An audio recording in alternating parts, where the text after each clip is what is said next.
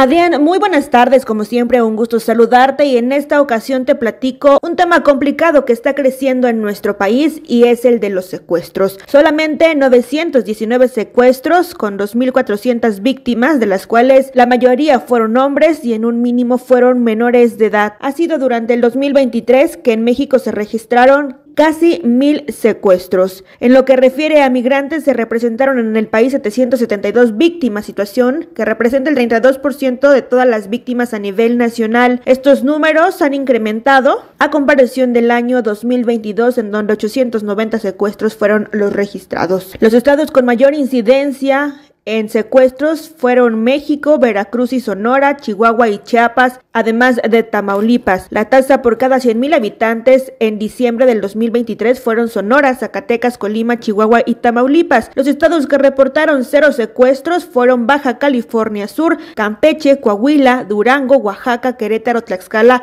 y también Yucatán. Hasta aquí la información.